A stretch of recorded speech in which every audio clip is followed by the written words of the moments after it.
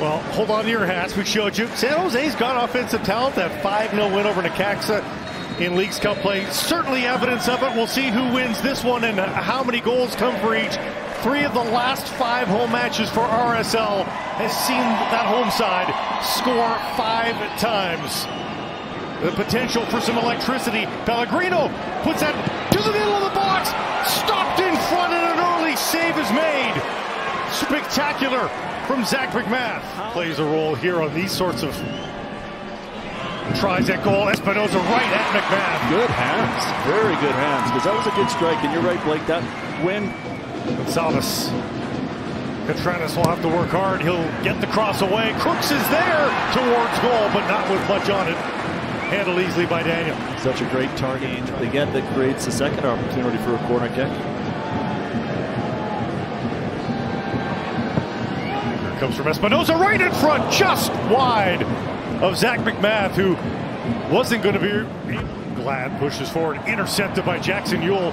Is there a through ball there? He can't send it to Bouda. Wide for Espinoza. And MacMath, a blunder. Espinoza powers it through. It's 1-0 for the visitors. The Earthquakes are on top. There's a lot behind the strike from Espinoza, but Zach MacMath knows he needs to keep that out one way or another.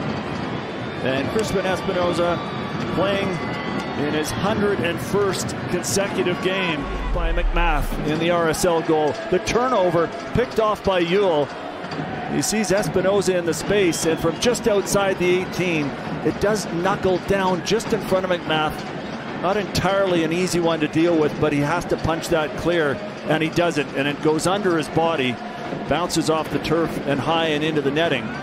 And San Jose, you have to say, through this first part of the first half, 20 minutes in, with a deserved 1 0 lead. But you're right, since then, RSL has been the team that has had the better possession, but nothing too dangerous just yet. Pellegrino versus Hidalgo. Bouda through the six and distracting MacMath just a little bit, perhaps. Now Yueill from distance. No, it's Espinoza. Inside. The backheel just wide. Magic. Doing the work to make sure that didn't enter the goal. Espinoza to the edge of the six, right at MacMath.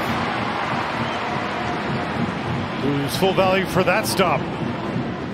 Lopez and Espinoza have the chat. And it's Espinoza with a quick one. Bouda's there. He lets it get through. Pellegrino on the doorstep. And it's 2-0 for the visitors as they march into America First Field with a mission. Well, San Jose's leading goal scorer only had five goals on the year coming into the match. He has six now, the easiest of the season for him from less than a yard out in the RSL backline and for the goalkeeper, the one that comes all the way through. MacMath has to hold his ground to see if. A stunner so far. And Costa getting San Jose in the right direction again. Bouda right at MacMath, forced to make a save. Katranis finds Eneli. Gonsalves, a nice effort, never on goal. Ojeda. Gonsalves. Not what he intended, but Crooks nearly able to take advantage of fine save by Daniel. I think starting to come for RSL. Work leaves there for Hidalgo, gets it back. Palacio into the area. He's got some room, rolls one, and Daniel sprawling to make the stop. He dribbled that one away from his keeper. The two are having words behind the play. And now a yellow card coming up to Lachlan Brook, his first in Major League Soccer. Uh, I never have an issue with that. I think maybe off of Skahan.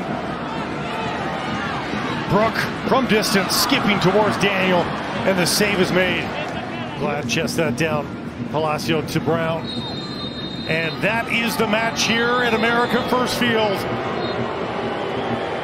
And the final nine matches of the season